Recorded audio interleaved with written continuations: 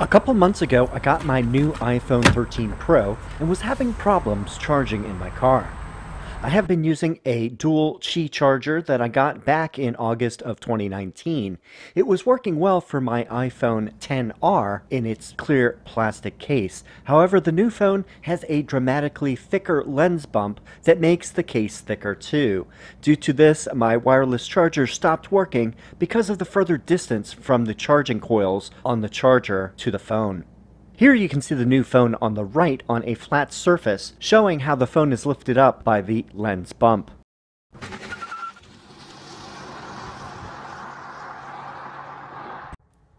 So I researched some solutions and found that the latest version of the Taptes wireless charger should be an improvement.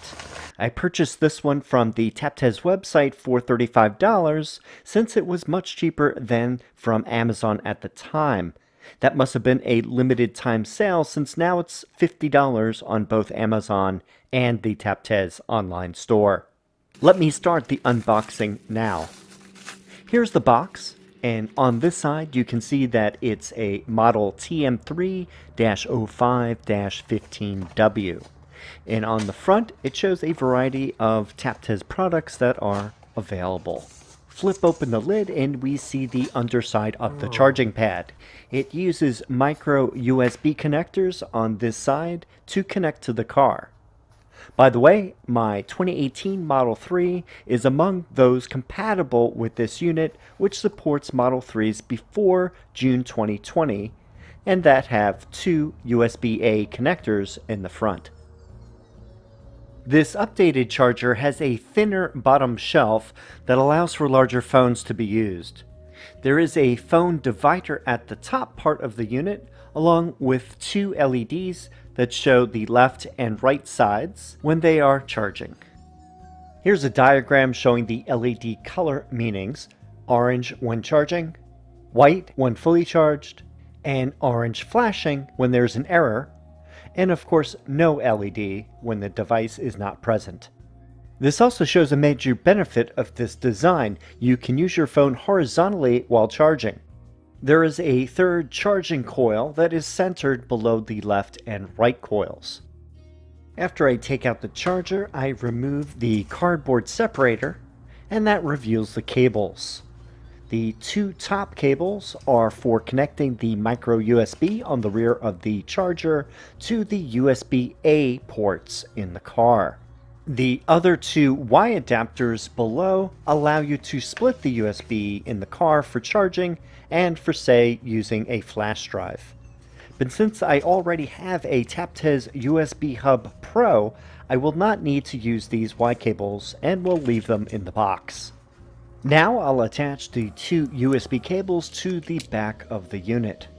By the way, the round extensions that you see on the back are for making the charger stable in the car. I also want to mention that the charger has a nice soft rubberized finish on the surface. It's grippy and I didn't have any issues with the phone sliding around while driving. Moving inside the car, let's install it now. First, I'll remove the current wired setup that I was using while waiting for this to arrive in the mail. I pop off the rubber base and then pull the USB cables through the back of the charging panel. Take the new charging pad and guide the left and right cables through the left and right holes, respectively.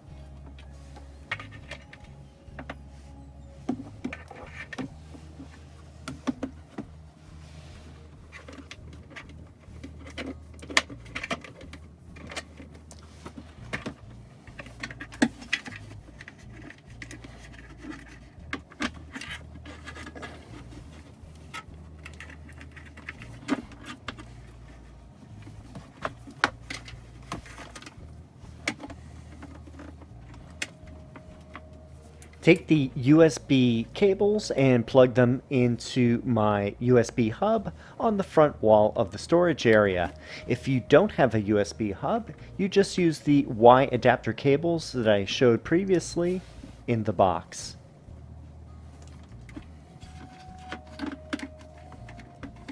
Adjust the charger so it sits correctly on the car's charging panel like so.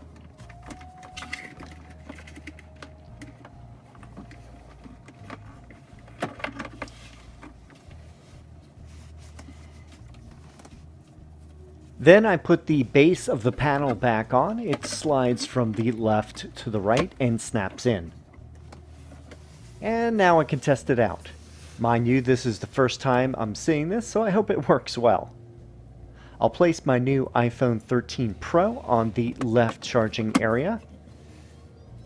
And you can see that the left LED light is lit orange.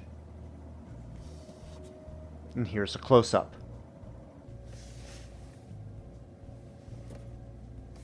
And for the right side, I take the phone out and move it over.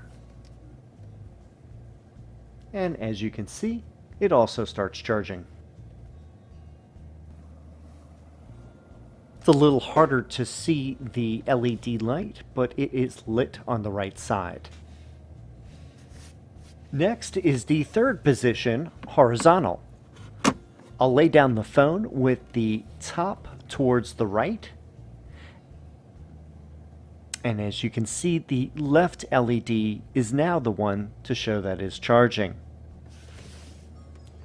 Let me flip it around the other way and see if that makes a difference with the top towards the left side.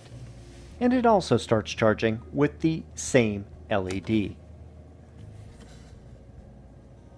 You can see that there's a USB cable sticking out a little bit at near the top. That connects to my tablet. Ignore that, I just need to tuck it underneath so it's not visible.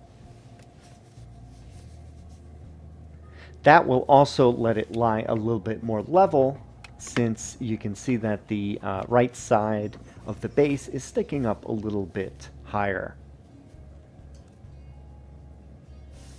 So we have a great result the phone is charging in all the different positions, and I have wireless phone charging again in my Tesla Model 3. If you don't use a case, a newer Pro phone may be able to work on older charging pads, but some have weaker charging coils on them compared to the newer ones. The ability to charge while horizontal is great if you like to use the phone app, like Waze, to navigate your car. And that's it for today. If you have any questions or comments, please leave them down below. Thanks for watching, and I will see you in the next video.